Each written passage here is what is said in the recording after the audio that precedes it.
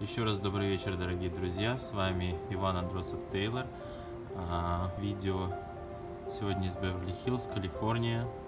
А, все прошло очень хорошо.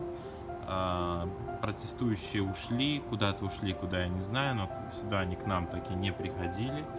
Вот, и я хочу вам показать, какое у нас красивое небо.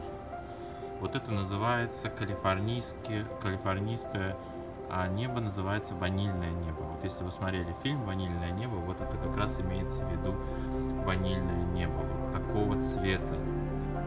Просто потрясающе красиво. Вот такой у нас приятный вечер. Вечер закончился хорошо, без потрясений, никто к нам не пришел, все разошлись по домам, видимо, наслаждаться закатом. Всего вам самого доброго, до завтра.